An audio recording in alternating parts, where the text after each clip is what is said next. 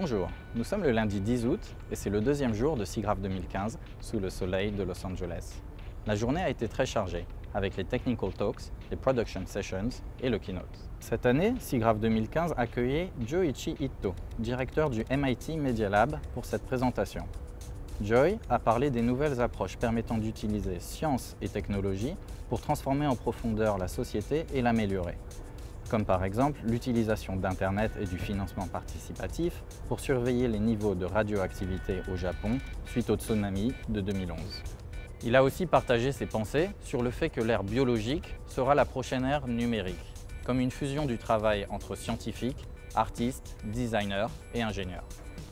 Cet après-midi, ACM SIGGRAPH remettait les prix annuels pour les catégories New Researcher, Computer Graphics Achievement et Distinguished Artist, respectivement à Johannes Kopf, Steve Marshner et Lilian Schwartz.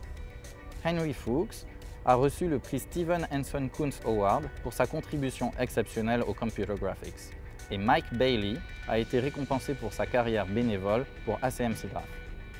Aujourd'hui marquait le retour du Exhibit Fast Forward une présentation rythmée et divertissante offrant aux spectateurs un aperçu des produits et annonces prévues par les sociétés exposant à l'exhibition. Cet après-midi, une session spéciale était consacrée au 40e anniversaire d'Industrial Light and Magic. ILM a établi le standard des effets spéciaux et créé parmi les images les plus mémorables du cinéma moderne. Plusieurs intervenants sont revenus sur le travail réalisé depuis la création du studio et les formidables avancées effectuées depuis.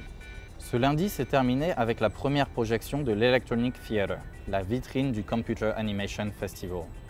Le public avait la chance de regarder une sélection éclectique des meilleures œuvres de computer graphics des 12 derniers mois.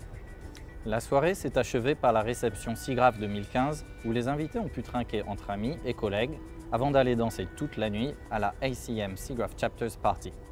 Voilà pour aujourd'hui. Pour plus de news de SIGGRAPH 2015, abonnez-vous à notre channel officiel YouTube ACM SIGGRAPH et rendez-vous demain pour le résumé du troisième jour. C'était François Maxence depuis Los Angeles pour SIGGRAPH 2015 et c'était le scoop.